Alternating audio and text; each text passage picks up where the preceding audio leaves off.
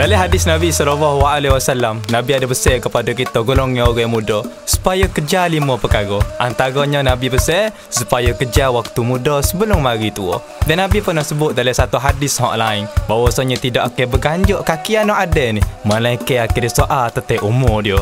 Lalu apa yang kita buat atas dunia ni waktu muda kita Maka mari kita buat benda baik Kalau baik di akhirat kita bereh Kalau tak baik di akhirat kita tak bereh